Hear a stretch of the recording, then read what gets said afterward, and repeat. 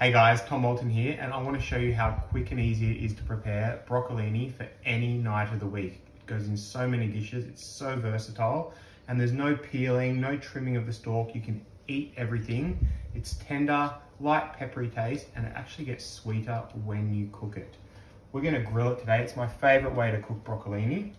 So all we need to do is toss it in a little bit of olive oil and salt, and then we're gonna throw it on the grill preheated pan, char grill or barbecue.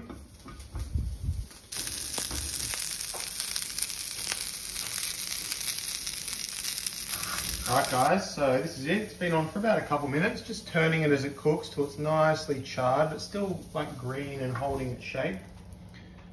Onto a plate.